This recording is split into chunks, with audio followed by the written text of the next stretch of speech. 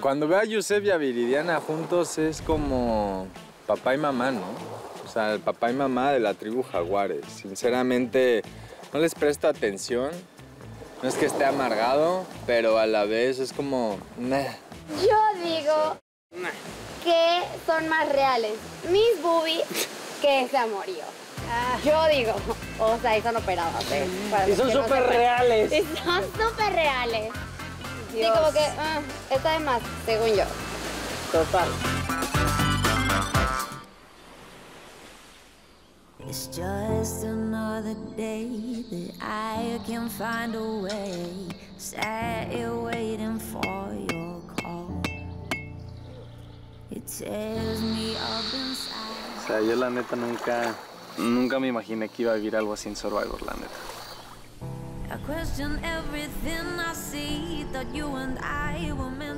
Honestamente yo no estaba listo para una relación ahorita.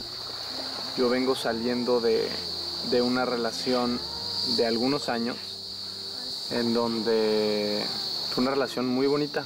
Y por ciertas circunstancias de la vida se terminó la relación, pero ni por aquí me pasaba que yo iba a encontrar o yo iba a conectar con alguien de la forma que lo he hecho con Viridiana aquí en Survivor. O sea, se me hace bastante difícil ¿no? vivir algo así en Survivor. De hecho, lo habíamos platicado como en la semana 1 con, con, la tribu, ¿no? Cuando éramos 11. De, y todos de que no, no manches. De que ni siquiera de convivir, de que olíamos mal, de que... Pues de que aquí terminas conociendo a una persona ahora sí siento yo que sin engaños ni mentiras, ¿no? Aprendes a conocer una persona en su mejor y en su peor etapa. Lo que yo he experimentado con Viridiana me ha encantado. Los altos y los bajos. ¿Qué nos deparará el futuro?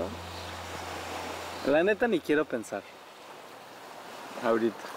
O sea, quiero, quiero enfocarme ahorita en disfrutar el presente. Si no, mi cabeza no para.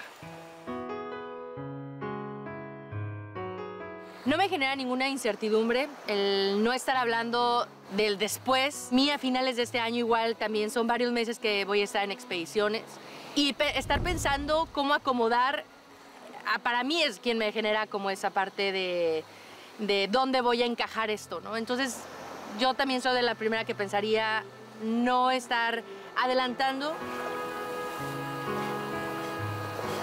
Me gustaría seguir conociéndolo fuera de, ya también viviendo de una manera, pues ya en, como en mundo real, en la vida día a día cotidiana.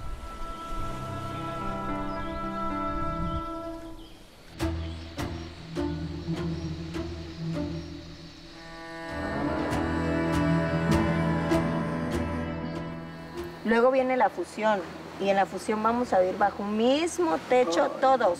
¡No! Entonces, ¿prefieres? No estoy lista para fusión porque realmente yo no quisiera volver a convivir en mi vida con Yusef, con Cintia, con Gabo, Viridiana. Ay, no, de solo pensar en levantarme y verles las caras me va a dar... Ah, oiga, niñas, nos encueramos todo el tiempo para que a Viridiana le dé un ataque. Ni modo.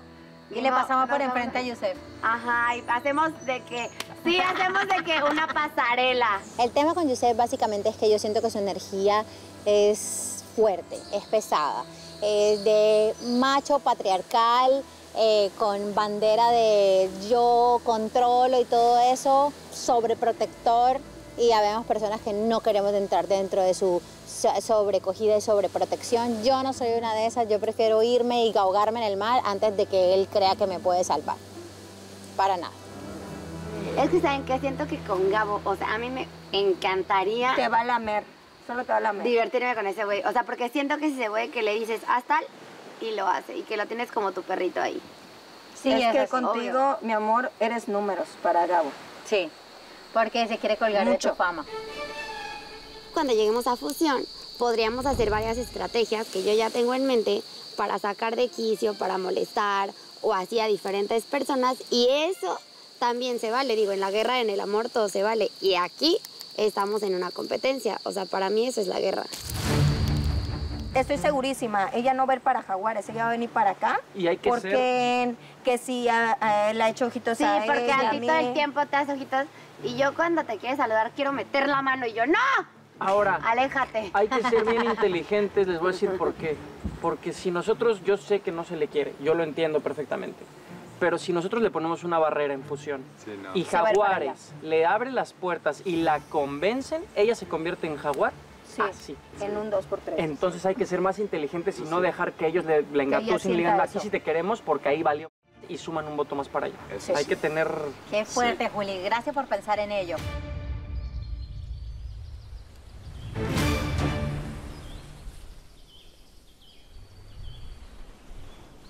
Hay que mantener esa actitud y la energía colectiva, que es lo que nos funcionó siempre. La olvidamos porque habían energías un poco raras Que te chupaban. que nos chupamos, pero yo creo que ahorita nosotros cuatro estamos como en el mismo canal. Eso. La situación de ser cuatro en halcones es rara porque vamos a repetir muchas veces los puntos. Pero está bien porque así vamos a reivindicarnos en caso de tener algún error y conocer la prueba al 100%. Tengo mucho sentimiento y voy a, a reflejarlo en la pista, que es donde se puede quitar toda esta rabia que tenemos.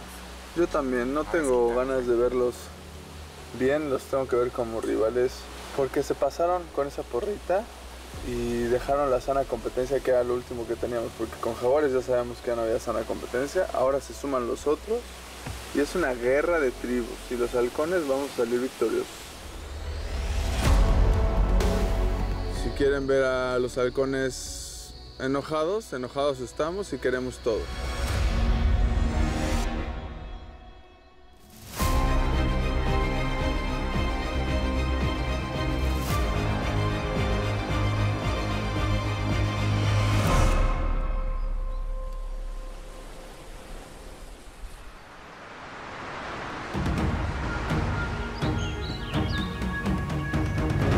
Sobrevivientes, momento de reunirnos a tomar posiciones.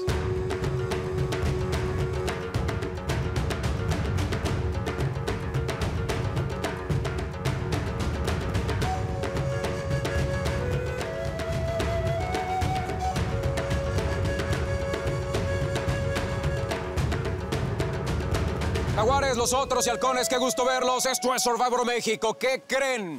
Semana 10 de esta aventura. Arrancando la semana número 10, no sé en qué momento, sí, semana 10 de esta extenuante, larga, pero fascinante aventura llamada Survivor México y lo que está por venir. Agárrense.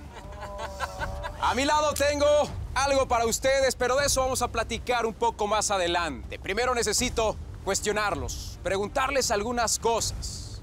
Hace algunos días que no hemos platicado y es importante hacerlo.